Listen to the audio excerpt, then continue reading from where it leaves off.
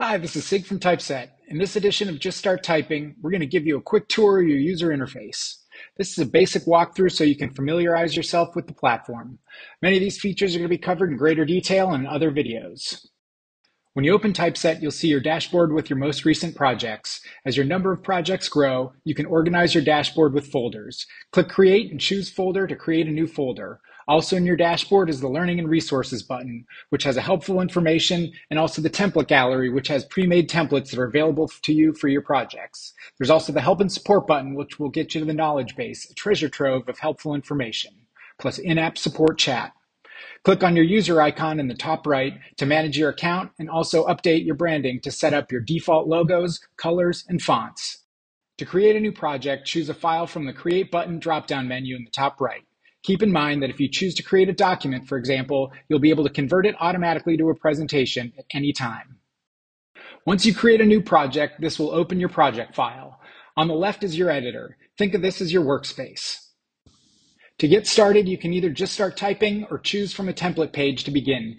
To view the templates, click your wand icon in your editor. To just start typing, click the plus to open the component window or type forward slash and the component box will open.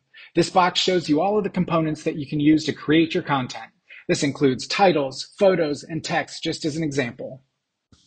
You can use AI mode at any time in the editor with the tab key. To generate AI title suggestions, for example, choose the title component either from the list or forward slash title and then hit tab. Then the prompt will help you create new titles using AI. There are several ways to create a new page or slide. You can hit enter three times or forward slash break, or three dashes, or command and enter. As you type, you'll see your project come to life in the preview pane to the right of your editor. You can use the magic wand button to remix your design at any time for any slide or page. Click the forward button to see even more formats available to you.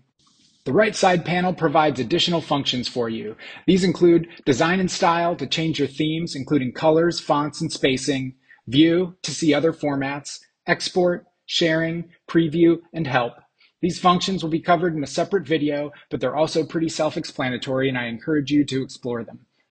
At the bottom of the right side panel, you can share directly to social media. Thanks for watching this video. For more resources, click on the Learning and Resources or Help and Support buttons in the Typeset app or visit our YouTube page.